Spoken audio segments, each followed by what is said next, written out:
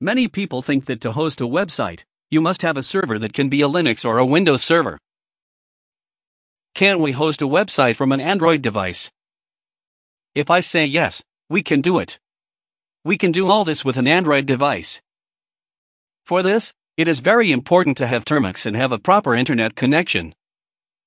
If you ask me, what is the benefit or advantage of doing this?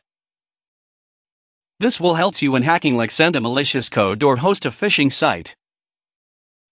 Before we get started, make sure you have subscribed to my YouTube channel and also press the bell icon to get notified of my upcoming videos. Now follow my steps.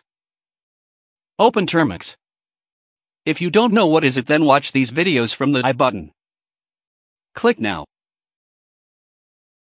First, you have to update your packages. Type package update. As you all know, it is necessary to have a server to host a website. For this, we are going to use an Apache server. To install type package install Apache 2. It will take time to install all useful packages. Now, Apache 2 is installed. Now let's configure the HTML file within the Apache folder. For this, you need to go inside the Apache folder. Let's follow my steps. Let me check where am I so type pwd. As you see we are in the home directory. Go back to the files directory. Type ls to check what are in this path. From here go to the user directory. Then from here go to the share directory. From here you see the Apache 2 directory. Now go inside this directory. To configure the site we go to the default site. From here go to htdocs. Type ls to check all files and directories. Now let me check what inside the index.html file.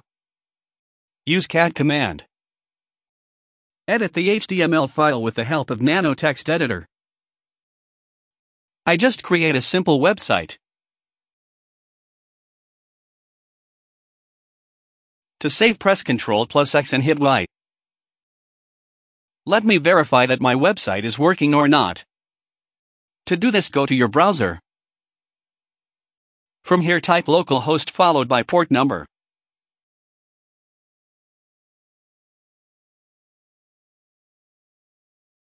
To start the Apache server just type apache ctl.